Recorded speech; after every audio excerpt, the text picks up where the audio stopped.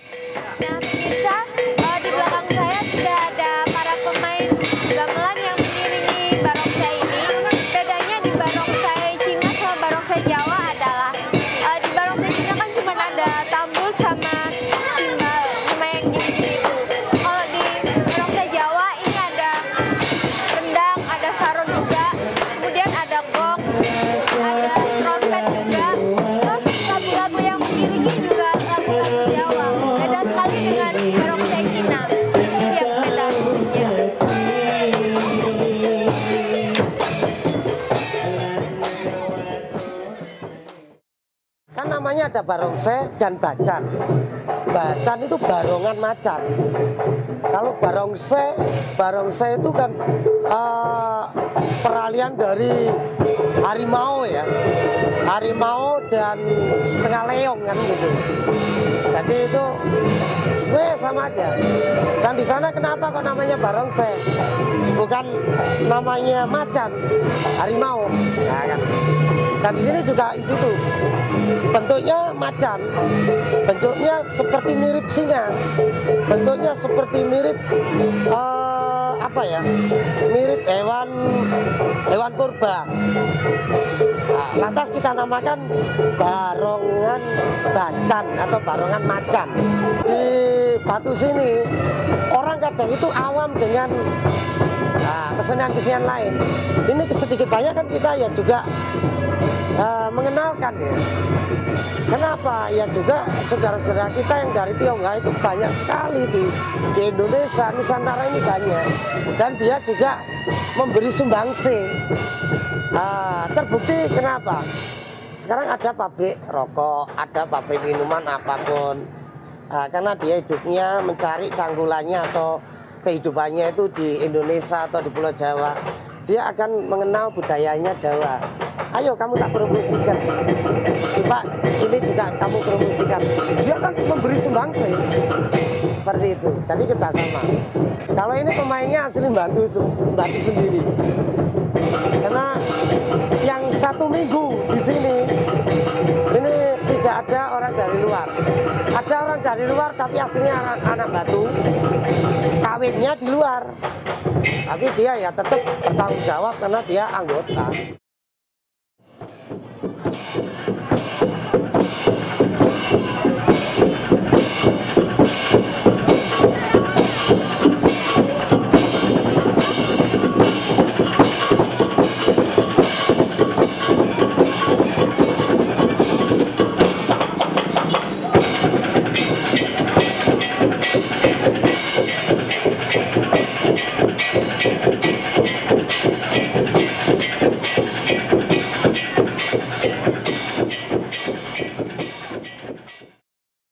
di saya itu ad- ada di Padepokan Gunung Ukir ada 48 kesenian.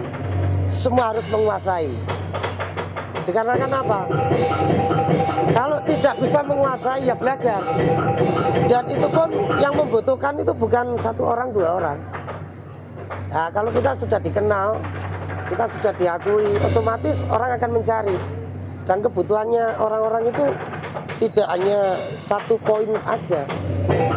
Mungkin dari perusahaan ini membutuhkan ini, dari perusahaan membutuhkan ini, dari wilayah ini membutuhkan ini, dari kelurahan atau kecamatan atau kota membutuhkan ini. Kita harus siap. Seperti yang tanggal 5 ini, Padepokan itu ada lima titik siang malam. Bagaimana caranya me- membackup? Bagaimana caranya membagi? Itu sudah sudah ada jadwal dan sudah ada sub sub krunya.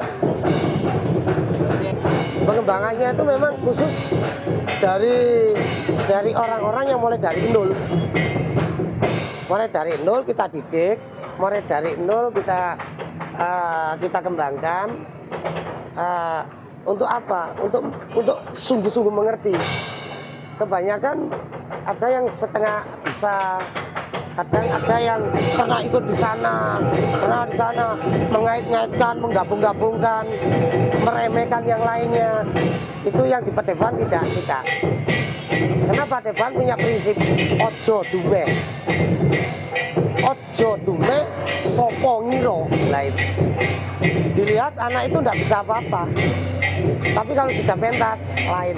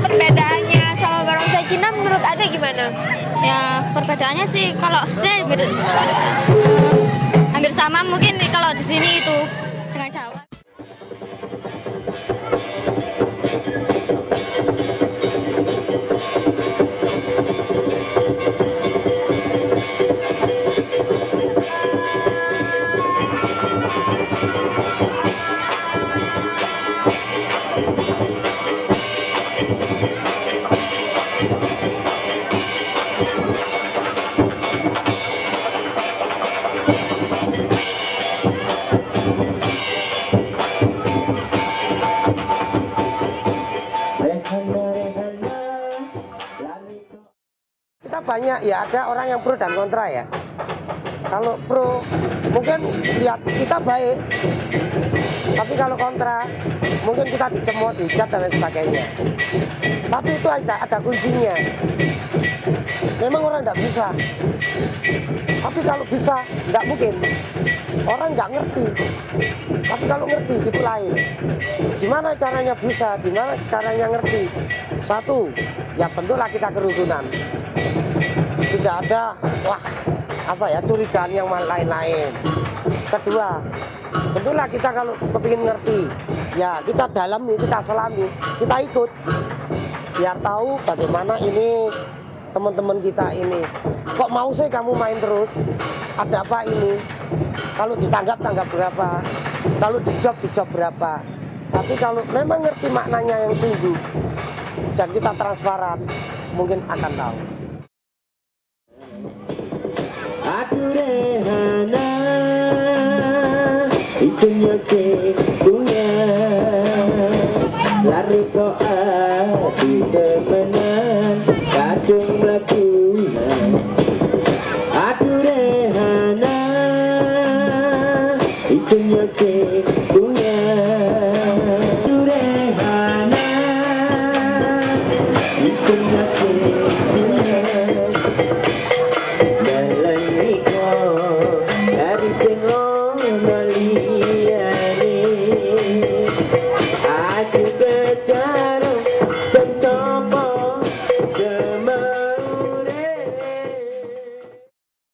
Kalau harapan kami, kita jangan menyalahkan satu antara lain, dan kita jangan sekali-kali menghujat. Kalaupun kamu belum pernah ikut tampil di situ, sekarang ada orang ludruk dan orang orkes Melayu dangdut, kan jauh berbeda. Tapi kalau kita seneng ludruk, mungkin orkes ini bisa dimasukkan di ludruk untuk selingan. Kalaupun ludruk itu baik dengan orang dangdut, mungkin bisa kesenian ludruk masuk di dangdut untuk mengisi MC dan lawaannya. Nah, jadi selamilah di dalam. Semoga yaitu uh, dari masyarakat, dari media, dari kalangan pengusaha-pengusaha, dan dari uh, kalangan pemerintah mendukung dengan adanya kebudayaan yang ada. Harapan saya semoga kita tetap diperhatikan untuk melestarikan mumpung ada yang peduli. Ketimbang kita tidak mau dan tidak peduli. Itu harapan saya.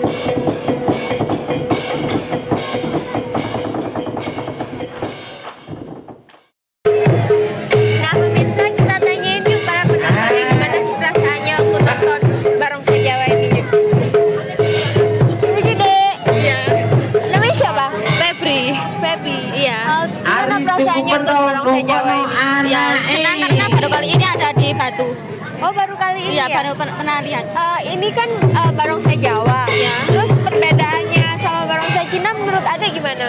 Ya, perbedaannya sih kalau saya beda, uh, hampir sama mungkin kalau di sini itu dengan Jawa gitu. Oh, gitu. Senang nggak lihat barongsai ini?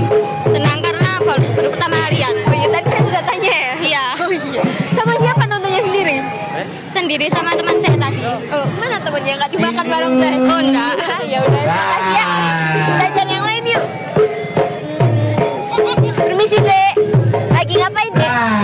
Lihat. Apa pak? Lihat. Ayo nangis sini, nangis. sini, sini, sini. Nangis. Lagi Ayo, ngapain? Ayo.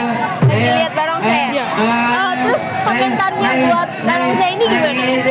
Enak tapi bagus. Ya. Eh, ada satu perbedaan nggak ada yang unik nggak dari barong saya ini? Unik. Uniknya apa? Lambine dibuka ta. Yang itu loh. Kenapa? Anake bisa Yang anu anak-anaknya. Oh gitu ya, lucu gitu ya. Oh ya udah. Pemirsa kita tanya yang satu ini yuk. Boni puri. Kita permisi. Jogendong jogendong. Mbak kan eh, sekarang lagi ngapain nih mbak? Lagi ngapain? Eh, galen boni. nonton ini nonton pertunjukan boni. Oh iya gimana perasaannya mbak waktu nonton pertunjukan ini? oh ya ya senang Eh, mbak lebih milih nonton kayak gini atau pertunjukan yang ada kuda kayak gitu? ya tergantung sih Tergantung. iya Tergantung apa? Mbak? ya tergantung mood kalau pengennya di sini ya nonton yang ini. Terus ada keunikan tersendiri nggak mbak dari pertunjukan? Ada sih